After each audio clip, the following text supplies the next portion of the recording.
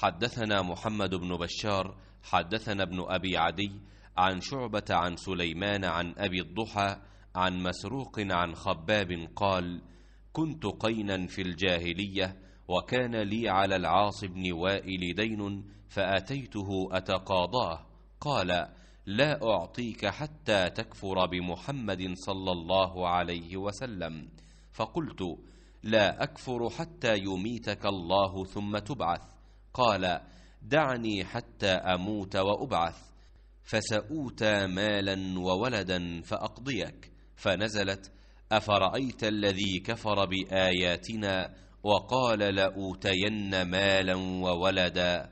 أطلع الغيب أم اتخذ عند الرحمن عهدا؟